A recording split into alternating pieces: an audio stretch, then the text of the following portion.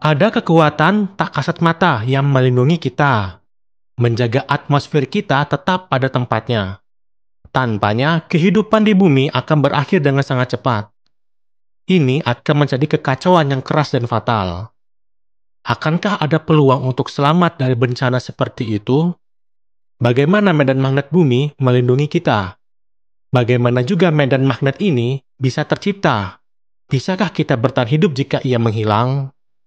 Medan magnet bumi melindungi kita dengan membelokkan sebagian besar radiasi matahari yang masuk. Tanpanya, atmosfer kita akan terkikis oleh angin matahari. Kita akan dibombardir dengan radiasi dalam jumlah yang sangat besar. Kehidupan yang kita tahu akan segera berakhir. Tetapi, bagaimana dengan medan magnet yang begitu penting ini tercipta? Bumi mempunyai inti besi bagian dalam yang padat dan memiliki suhu 5700 derajat Celcius atau 10300 derajat Fahrenheit.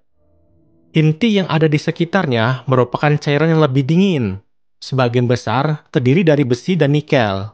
Perbedaan suhu, tekanan, dan komposisi menyebabkan material yang kurang padat dan panas naik menuju inti luar. Pada saat yang sama, material yang lebih dingin dan padat akan jatuh kembali ke inti padatnya. Tingginya tekanan bumi mencegahnya menjadi bola cair. Pada saat yang sama juga, rotasi bumi menciptakan efek Coriolis yang menghasilkan pusaran air di dalam besi cair. Ini menghasilkan arus listrik yang pada gilirannya menghasilkan medan magnet.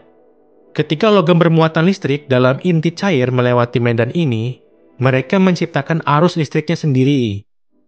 Siklus yang tidak pernah berakhir ini memungkinkan kita untuk melanjutkan keberadaan kita di dunia yang terlindungi.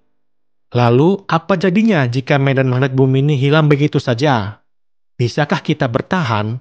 Nah, apakah kalian siap menghadapinya?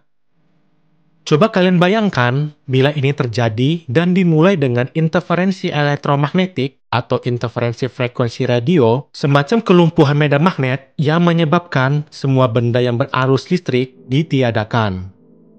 Pasti kalian semua akan terkejut jika semua listrik padam.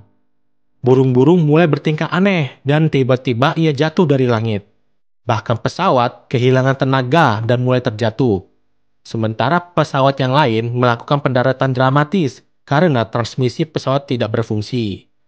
Yang akhirnya listrik terganggu dan mematikan listrik di seluruh dunia.